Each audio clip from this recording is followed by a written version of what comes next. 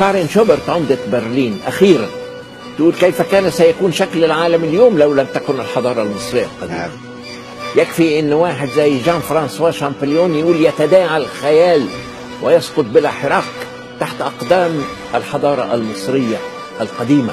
واحد زي وارن داوسون في Legacy of Egypt يقول العلوم جميعا خاصة الطب نشأت في مصر منذ خمسين قرنا من الزمان. ده أخيرا أربعة من العلماء أرشيبالد وتشيز ومانج وبيل جمعوا 36 وثيقة أصلية في الرياضيات المصرية وقسموها إلى قوانين الدايرة. كانت مصر تسميها قوانين السماء وهي فعلا دايرة. وبعدين المثلث الذهبي اللي هي قوانين الأرض. وده يؤكد ما قاله سيمونيدس المؤرخ اليوناني حين هزمت اليونان أسبرتا قال هزمناهم. ليس حين غزوناهم. بل حين أنسيناهم تاريخهم وحضارتهم الله. بينسونا تاريخنا الله. وبينسونا حضارتنا. هو الإنسان يتميز بإيه؟ عن باقي الكائنات الحية دي كلها تاريخ. إلا بالتاريخ. نعم. هي الخرفان. لو تعرف إن كل عيد اضحى هتتذبح. يعني يقبلها تاريخ. كانت هربت قبل أي عيد اضحى ما تستناش. الشعوب تذبح. حين لا يكون لها تاريخ. حلو. هتلر ذبح شعبه وذبح نفسه لأنه لم يقرأ هزيمة نابليون بونابرت في الاتحاد السوفيتي. من بنى الإهرامات؟ قالوا اليهود. ومن كانوا متوطني مصر قالوا اليهود. كانوا يدعون أن من بنى الدولة الفرعونية المصرية هم اليهود. ما هو رد الدكتور وسيم من حيث التاريخ على هذه النقطة؟ إبراهيم عليه السلام أبو الأنبياء جاء إلى مصر 1700 قبل الميلاد. الأهرام مبني قبل إبراهيم ب 1100 سنة. ده تبع المتحف البريطاني والتاريخ بتاع المتحف البريطاني. 2800 إحنا بي سي قبل الميلاد. 2800 1100 سنة يبقى 1700 ففي فرق بين مجيء إبراهيم وفي فرق بين آه، بناء الأهرام. دي النقطة الثانية.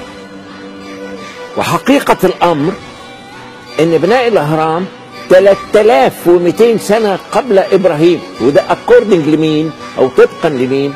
طبقا لمانيتون المؤرخ المصري السمنودي المولد وتأكيد أندري بوشان عالم المصريات الفرنسي اللي خد عينات من المومياوات المصرية الأسرة الثانية. ووجد بالكربون 14 إنها أقدم 2000 سنة. وده يتفق مع منيتو أن الأسرة الأولى 5619 متحف البريطاني بيقول 3200 إنما جاء أندري بوشان وفلاندرز بيتري البريطاني أكد أنها فعلا 5619 لأسباب كثيرة جدا. النقطة الثالثة والأخيرة دول رعاة غنم. رعاة الغنم دول جايين يقولوا على حاجات ما اكتشفناهاش إلا من خمس ست سنين إحنا بنينا الهرم. هو لما واحد يشيل قصعة فيها أسمنت وطالع بيها على الأوموبيليا بعد كده يقول أنا بنيت الأوموبيليا في مصر. ده أنت عامل يا عم ده أنت راجل سايقه فنمرة واحد ما خليهمش وجود في ذلك الوقت على الإطلاق. نمرة اتنين أن الأهرامات زي ما أنت شايف كل يوم والتاني بنكتشف لها أسرار خطيرة جدا فهي أكاذيب. وده ببساطة لأن الوصايا العشر عندهم ليس فيها لا تكذب واللي يؤكد هذا الكلام صاحب الكتاب بتاع فجر الضمير جيمس هنري بريستد في صفحة عشرة يقول أنا كنت تلميذ وفي جدا في مدارس الأحد راجل أمريكي مسيحي. وطبعا إحنا كنا بندرس التوراة وبندرس الأنجيل و- ولكني كنت أجد سلوى لنفسي لما حفظت الوصايا العشر إن أنا أكذب على زملائي. ذلك لأن الوصايا العشر ليس فيها لا تكذب صحيح. أن فيها لا تشهد بالزور ولكن لا تشهد بالزور معناها أن لا تكذب أمام المحاكم وأنا بكذب على اللي حواليا ولكنه كان يوما أسود في حياتي حين بدأت دراسة قانون الأخلاق في مصر القديمة. وجدته أسمى بكثير من الوصايا العشر في التوراة. وبعدين يقول إن قانون الأخلاقي ليس فيه لا تكذب إنما هو قانون أخلاقي ناقص. كده. فجر الضمير. جيمس هنري بريستد صفحة عشرة عشان ما تتعبش في إنك تدور. اقرأ هذا الكلام. هم كذابين كذابين كذابين. في أفلامهم اللي مطلعينها كذابين. في قصص بتاعتهم كذابين. في سفر الأمثال ناقلينه كله من الحكم بتاع بتاع حتب في مزامير داوود النبي سابقينها من الأناشيد بتاعت إخناتون. في Song of Songs الأناشيد الإنشاد واخدينه من طقوس الجنس المقدس عند السومريين سارقين من كل حاجة. وقالوا ربنا قال لي وعشان كده هو الناس مصدقه سيجموند فرويد اللي هو مؤسس علم النفس المعروف قال عقدة اليهود الأزلية هي الحضارة المصرية القديمة. هم متعقدين من مصر. طبعا. وعشان كده هو الود ودهم إن تختفي من على سطح الكرة الأرضية دي مصر. واللي ما بيقدروش عليه يقول لك إحنا اللي عملناه. ناس شايفة ده كله. ناس أمام العظمة والعلوم دي كلها.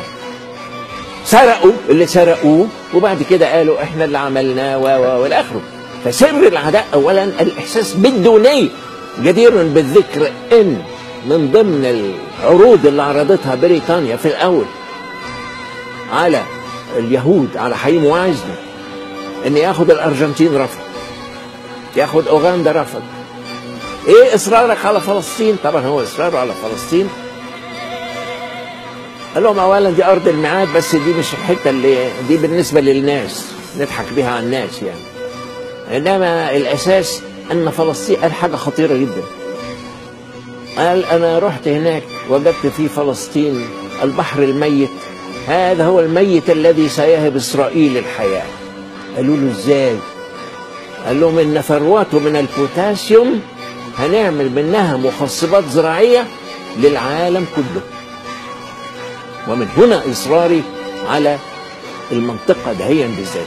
إنما عشان يجذب اليهود إلى هذا المكان أرض الميعاد وكنا وكنا بالمناسبة دهيا كانوا 6 مليون النهارده بقى 3 مليون واللي محدش يعرفه إن طلعت إحصائية أخيرا إن 3 مليون منهم هجرم ويا ريت الثلاثه التانيين يعملوا زيهم ويسيبوا لنا الحتة دي ونرتاح يعني. المهم إنما دي إحصائية رسمية لسه طالعة رسمية. ثلاثة أخيرا ما بلاش يومين. 3 مليون سابوهم ورجعوا لبلادهم تاني. ما- قدروش يتحملوا ال- الوضع اللي هم فيه رغم اللي إحنا بنسمعه ده. أول تقسيم وأول تفتيت للمنطقة دهيا كانت سايكس بيكو اللي إحنا المعروفة دهيا كلها المصيبة إنما. الأخطر منها بقى اللي الناس يجب أن تعرفها ويجب كل قناة تلفزيونية تعملها. وأنا طلبتها من الرئيس عبد الفتاح السيسي قلت له هديتك لينا في رأس السنة الميلادية. إنك أنت كان في أول يناير. إنك أنت تأمر وزير التربية والتعليم إنه يحط الخرائط بتاعه برنارد لويس على ظهر كل كتاب وكل كراسة لسبب بسيط. الشعوب تهلك من قلة المعرفة. كان آه، يوسف إدريس يقول إدوني التلفزيون سنتين أعمل لكم شعب جديد. الله. تلفزيون معانا 20 سنة و40 سنة الشعب بيتدهور. نرجع بقى في العصر الحديث بقى المخططات الرهيبة اللي هم عاملينها للمنطقه دي والتي يجب على كل عربي ومصري يعرفها. هي ما حدث مع موشي شاريت وزير الخارجية وبن جوريون موشي شاريت عمل دراسة وراح لبن جوريون وقال له نحن قطرة في محيط من الكراهية. قال له بعدين؟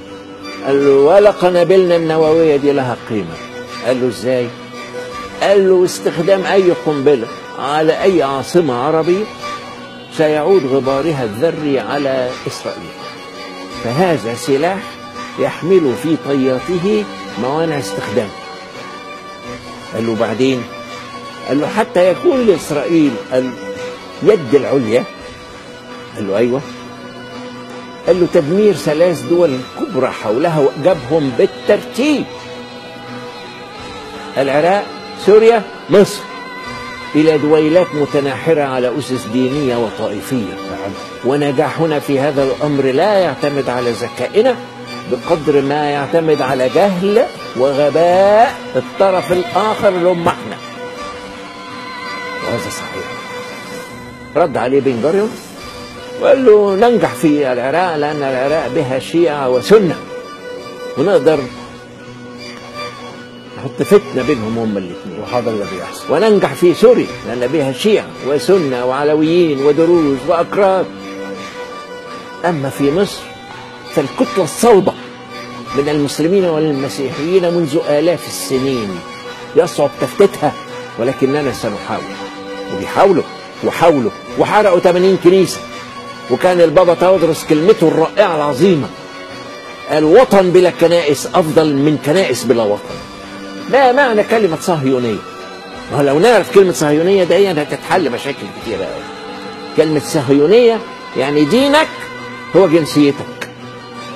يعني اليهودي اللي في فرنسا يبقى اسرائيلي واليهودي اللي في روسيا يبقى اسرائيلي وحتى يوم ما يجي يزور إسرائيل ما اسموش زائد ولا اسمه مهاجر ده اسمها العودة لأنك أنت إسرائيلي من الأول وكما أن هناك صهيونية يهودية هناك صهيونية مسيحية في الولايات المتحدة الأمريكية وهناك صهيونية إسلامية.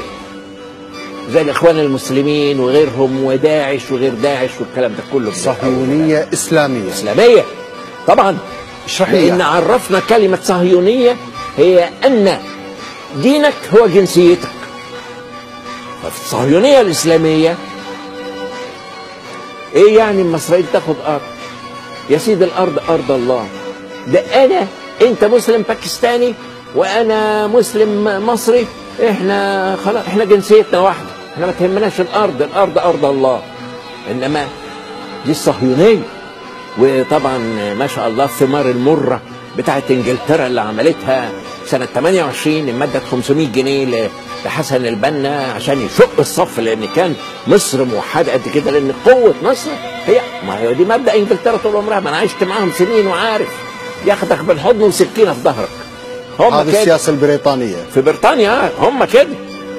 يعني فظاع.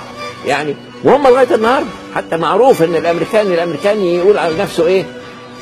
American nationality British blood أنا جنسية أمريكية بس دم بريطاني إيه آه. صحيح. وهم اللي ماشيينهم على فكرة بالمناسبة ده هي. هم يعني هي المخ. هي المخ آه.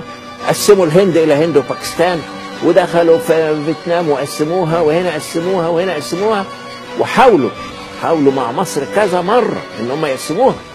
إنما الشعب هنا قوته في وحدته يعني مصر رغم إنها فقدت الكثير من ثروتها كانت من أغنى بلاد العالم. والكل عارف كده. يعني الجنيه. المصري كان بيناطح الجنيه ال- ال- ال- الإنجليزي. الجنيه الانجليزي كان أقل منه حتى يعني. يعني أنا عندي مجلات يقول لك يا إما جنيه مصري يا إما 4 دولار امريكي صحيح. آه كان ده موجود. فعلا. إنما طبعا الحروب اللي إحنا دخلنا 48 و56 و67 و73 واستنزاف ده لو كان جبل كان انهدم. يعني ثروتنا ضاعت. مش كونداليزا رايس كان بتقول آه، ال- الجائزة الكبرى هي مصر. كانت أيوة. عارفة إنها هتتسلى على الدول العربية كلها كل واحد بدوره على أساس وكل ده طبعا عشان خاطر إسرائيل. إنما زي ما جيفارا قال الثورات يقوم بها الأطهار ويتسلق عليها الفجار. شباب طاهر. 25 يناير وفي 30 6 و و إلى آخره.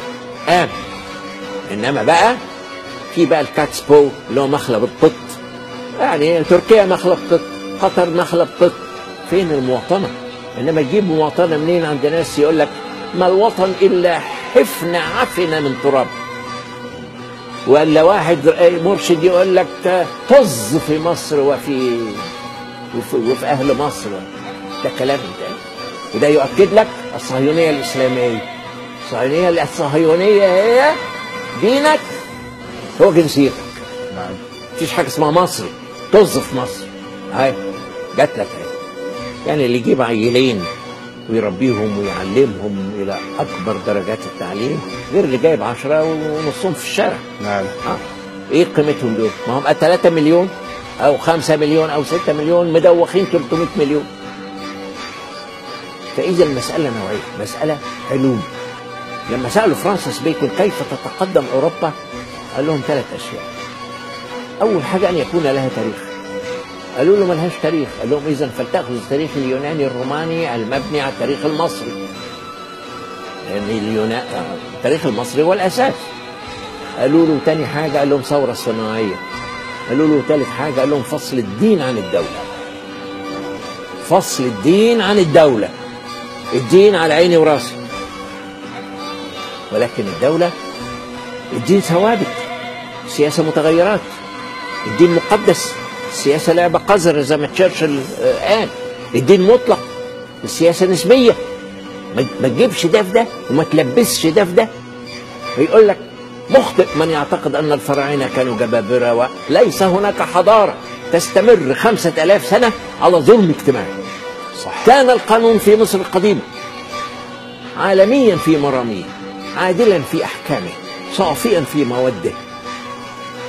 دهشة للمؤرخين. ليه؟ قام على دعامتين العدل أساس الملك بين الحاكم والمحكوم العدالة الاجتماعية فالكل أمام القانون سواء بسواء. هات لي بلد أو أمة في القديم أو الحديث ما قبل التاريخ أو بعد التاريخ زي القانون في مصر القديمة الذي كان نمرة واحد يدي حق الم- المريض له الحق في شكوى الطبيب اثنين إذا أعلن الملك الحرب عليه أن يكون في مقدمة الصفوف. عندنا الملك بتاع الأسرة السبعة عشر استشهد سقن امرأة وفي المتحف البريطاني جثمانه والموميا بتاعته موجودة. تولى الحكم من بعده كاموس استشهد في الحرب والموميا بتاعته موجودة. تولى الحكم من بعده أحمس على يديه تم التحرير. هات لي بلد في القديم أو الحديث يتشكل محكمة من 15 قاضي تحاكم الأسرة المالكة حصل في مصر رمسيس ثلاثة مش رمسيس الثاني وحكمت بإعدام أميرين. كان منهم واحد اسمه بنتاور سبب الخيانة. وأعدم الأميرين. ولما اكتشفت المحكمة إن في اتنين منهم مولسين مع الأصل حكمت المحكمة بإعدام القاضيين فانتحر القاضيان قبل تنفيذ الحكم. عدالة عدالة مطلقة. ويجي بقى اليهود يقعد يشوه التاريخ ويقول لك بنوا الأهرام بالسخره وبنوا مش عارف إيه وكانوا جبابرة وكانوا وكانوا وكانوا مع إنك تقرأ كتابهم تطلع كتبهم مجرد بالمنطق واستخدام المنطق للحاجه لما يجي يقول لك مثلا ربنا أمرهم بإن يدهن بيوتهم بالدم. عشان يفرق ما بين بيتهم وبيوت المصريين. يعني طب ما أنتوا كنتوا ساكنين زينا اهو ولا عبيد ولا حاجة ما أنتوا لو كنتوا عبيد ما كنتش يبقى بيتك زي بيتي؟ لد- لدرجة إن الملاك محتاج علامة الدم عشان يفرق بين بيتك وبيتي. وانت لو كنت عبد وأنا مسخرك ومطلع عينيك زي ما انت بتقول ما كنتش تاخد ذهبي وفضتي وتطلع بيها كلها من الأول للآخر وتقول إن ربنا قال لي اسلبوا المصريين. بقى ربنا هيقول لك اسلبوا المصريين. ليه؟ حرامي. هيقول لك اسلبوا المصريين؟ بقى ده كلام. لدرجة إن نبيل حلمي دكتور نبيل حلمي دكتور نبيل حلمي راجل من أكبر المحامين عندنا في مصر كان عاوز يرفع قضية على اسرائيل هيسترد الأموال اللي خدوها مننا.